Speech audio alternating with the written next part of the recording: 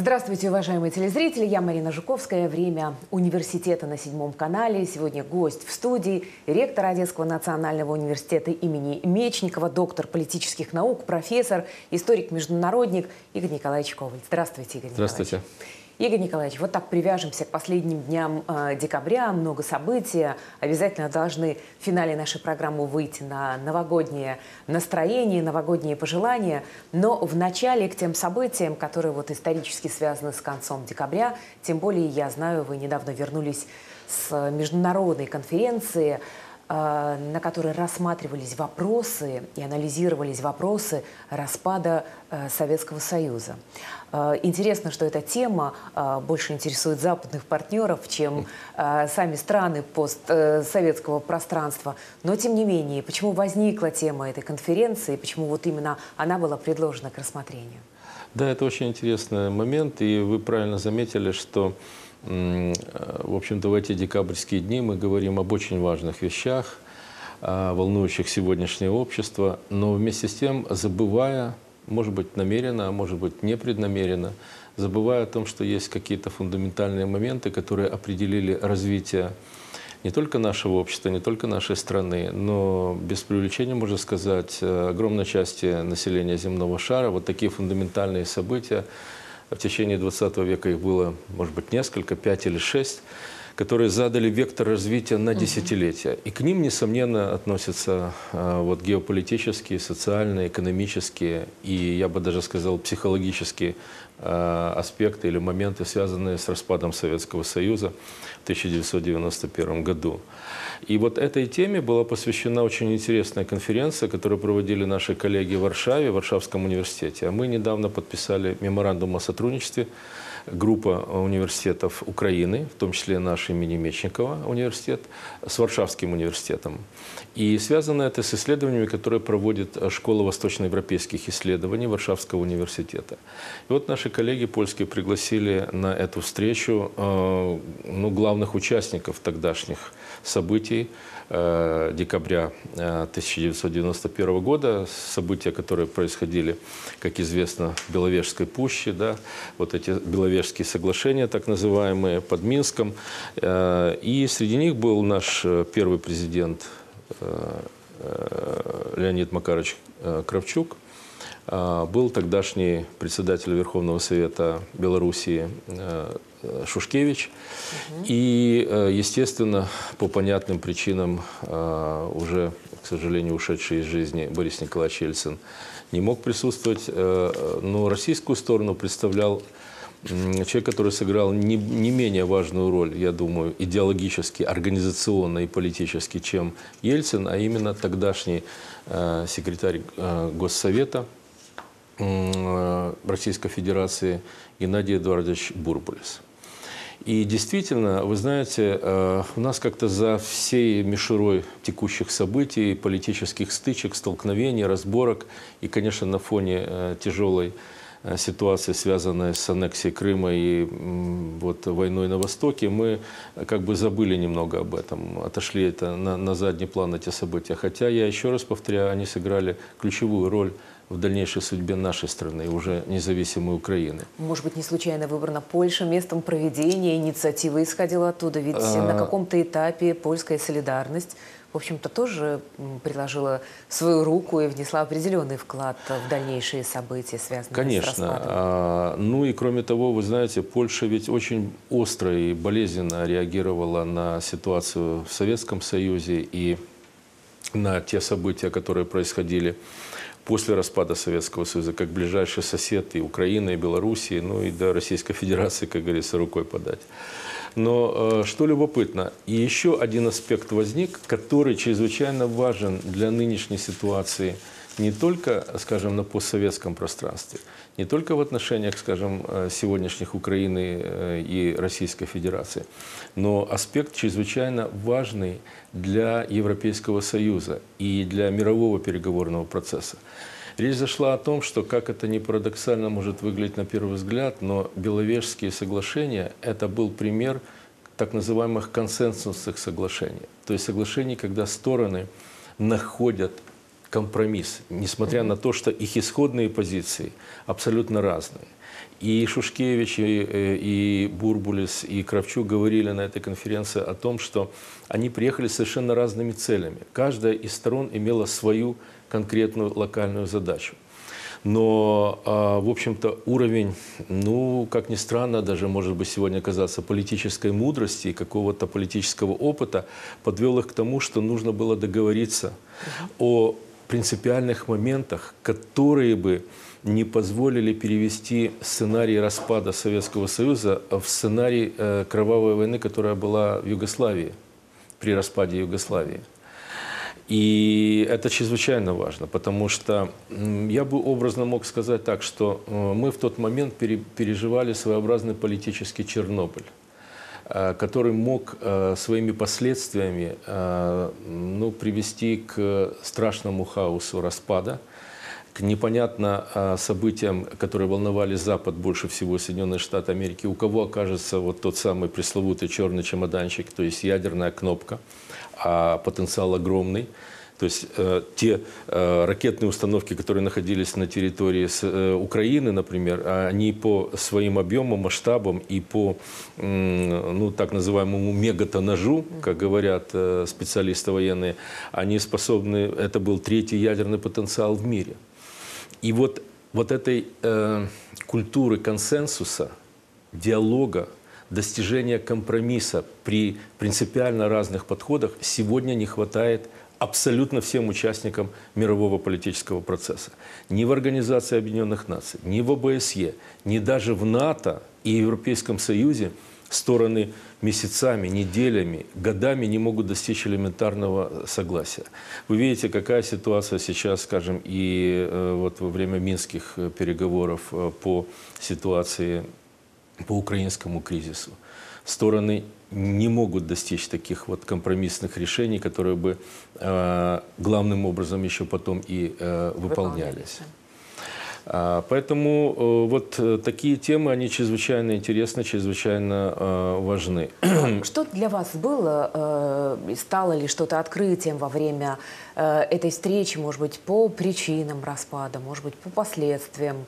Что-то вот было из такого, что удивило вас, ведь участвовали и первые лица этого исторического момента? А, вы знаете, меня удивило несколько, ну вот то, что а, на самом деле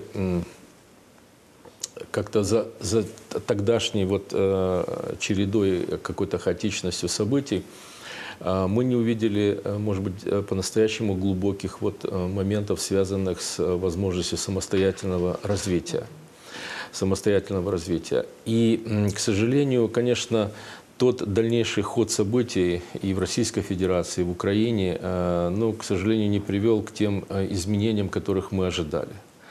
Э, мы ведь видим сегодня, что на фоне вот, войны, на фоне экономического кризиса, да и все последние вот, более чем 20 лет, фактически за редкими промежутками времени ситуация экономическая ухудшается. Мы допустили э, ну, вот, складывание экономической модели олигархического капитализма, одной из самых отсталых, самых консервативных, самых античеловеческих форм развития капитализма. Э, на фоне вот этой маргинализации основной части общества, то есть, э, ну, как бы такого катастрофического обнищания, и усиливается расслоение в обществе. Вот происходит такая своеобразная бразилизация, вот бразильский вариант, бразильский сценарий развития общества, когда есть огромная часть э, бедного населения или едва сводящего, так сказать, концы с концами, и вместе с тем мы видим, что появляются богатые, очень богатые, и, я бы так сказал, несуразно богатые люди, потому что эти богатства заработаны не путем развития, там, скажем, экономики, не рыночными методами. А, ну и, в общем-то, конечно, мы должны помнить о том, что, конечно, в конечном итоге политические решения все, в том числе и там Беловежской пуще, они ведь принимались а, живыми людьми. Э, со своими, так сказать, э, стереотипами, со своими какими-то видением ситуации. И сегодня Леонид Макарович Кравчук, конечно, э, пытается представить себя вот таким борцом за независимость и демократию Украины. Вот. Ситуация, конечно, была и, и сложнее, и проще. Вот.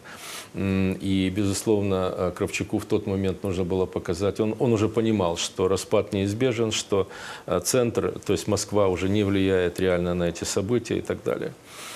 Ну, э, я хочу вам еще привести, может быть, один такой пример, который, может быть, будет любопытен для наших зрителей. Я в свое время занимался проблематикой, вот, связанной с советско-американскими отношениями в связи с Восточной Европой. И, э, находясь в одной из командировок в Соединенных Штатах, я беседовал э, с бывшим первым послом Соединенных Штатов в Украине, в независимой, Романом Попадюком. Он э, этнический украинец, но родился и вырос в Соединенных Штатах. И на момент вот распада Советского Союза, то есть э, летом, э, осенью 1991 года, он был заместителем пресс-секретаря Белого дома.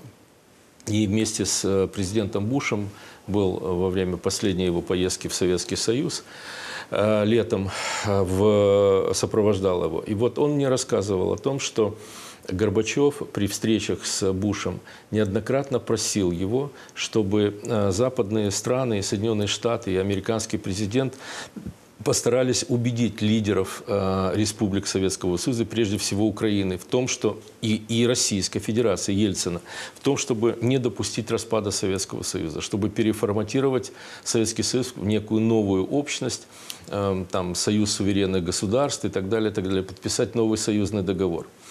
И э, Попадю говорит, что Буш долго колебался. Он не хотел э, как бы э, подчеркивать эти моменты, но все-таки э, Соединенные Штаты, это тоже очень важно понимать. Э, Соединенные Штаты, которые мечтали о распаде Советского Союза на протяжении всего послевоенного времени, когда это реально они столкнулись с такой возможностью, просто испугались. Вот на самом простом, примитивном человеческом уровне. Потому что стал вопрос о том, а что будет, как этот распад будет происходить, не начнутся ли внутренние гражданские войны, опять-таки, что будет с ядерным потенциалом и так далее, и так далее. И вот на этом фоне Буш все-таки решился, выступая в начале июля в Киеве в парламенте, в нашей Верховной Раде, сказать о возможных тяжелых последствиях национализма. Бушу и его семье до сих пор украинская диаспора в США и в Канаде не может простить этой речи, угу. где он фактически как бы поддержал центр, а не э, Киев. Ну, вот такая ситуация продолжалась до октября месяца, уже после путча, и только э, Попадюк констатировал, что только в октябре Соединенные Штаты по-настоящему поняли, что союз уже спасти невозможно, и стали работать с э, республиками э, Советского Союза. Игорь Николаевич, э, насколько было вот так кратко, не очень много времени, неизбежен распад? Ведь он а, был а, и логичен как изнутри, э, и этому способствовали многие причины, в том числе и экономические, да, не в последнюю очередь.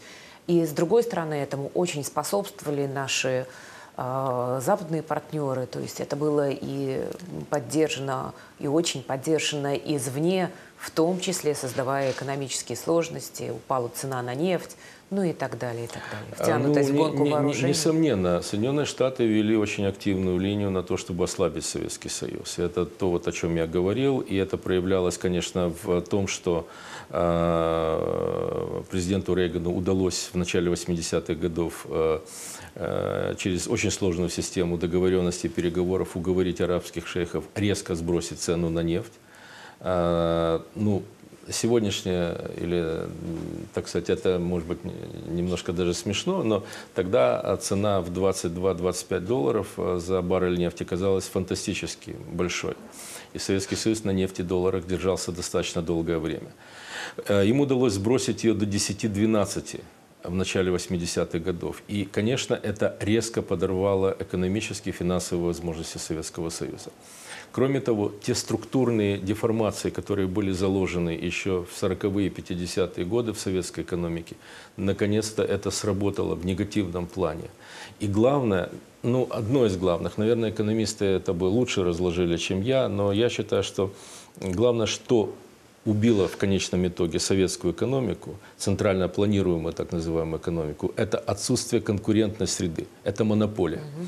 Монополия во всех сферах и жизни, экономики, финансов и даже в личной жизни всегда ведет в конечном итоге к застою и краху, когда нет соревновательности элементарной, когда нет э, монополия э, в экономической жизни привела к застойным явлениям и фактически от этого уже дальше пошли и социальные проблемы, национальные проблемы в Советском Союзе и так далее.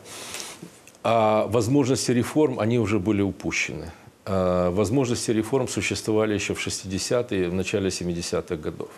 А тогда, когда Горбачев пытался уже, так сказать, э, догнать этот уходящий поезд, это было просто уже невозможно. И в этом смысле, конечно, распад Советского Союза был действительно... Он не, не... связан с одной личностью, да? Вот виноват в этом этот или этот Нет, или этот. конечно, конечно. Целая... Более того, я хочу вам сказать, что если причин. бы в этот момент у власти находились э, более консервативные деятели, чем Горбачев, то это могло бы привести к еще более страшным последствиям самого распада. То есть действительно к гражданской войне э, мы не избежали вооруженных столкновений, вы видите, на всех территориях практически постсоветских государств, но это уже происходит в несколько другой исторической обстановке. А главная проблема состоит в том, что э, мало кто из постсоветских государств, а в данном случае мы говорим прежде всего о нашей стране, увы, мы не использовали тот исторический шанс пока и до сих пор, который нам представился. Мы до сих пор не можем сложить нормальную единую политическую нацию украинскую. Мы не можем определить свои э, политические, внешнеполитические ориентиры окончательно и э, работать по ним. Мы никак не можем превратить нашу страну в, э, в субъект международного права, международных отношений. Мы бесконечно, так сказать, думаем о том, под чье бы крыло попасть. А легитимность власти политической внутри, она не приходит извне. Она может быть дана только самим народом и выстроена только самим народом. А для этого народу надо предложить тот социально-экономический строй, который устраивал бы народ, а не который навязан народу, вот олигархический капитализм, о котором мы говорили, который ну никак не устраивает основную массу да, населения безусловно, страны. безусловно. И, конечно, надо помнить о том, что э, национальная идея в таком поликультурном, многонациональном э, государстве, как наша страна, как наша Украина, она не может сработать в рамках предпочтения одной или двум нациям. А влияние внешних факторов, внутренние традиции просто не дают такой возможности. И это означает, что национальная идея должна быть универсальной. А универсальная она может быть, ну, на первый взгляд, и прежде всего, если она лежит в плоскости экономики и в плоскости права. То есть достоинство человека, его права должны быть соблюдены вне зависимости от Это его национальности. по-европейски. Да. И, конечно, э, его экономические потребности и личные, и общественные должны иметь возможность реализовываться, а не давиться группой олигархов через государственную власть, Может органы. Может у нас что-то измениться в будущем году?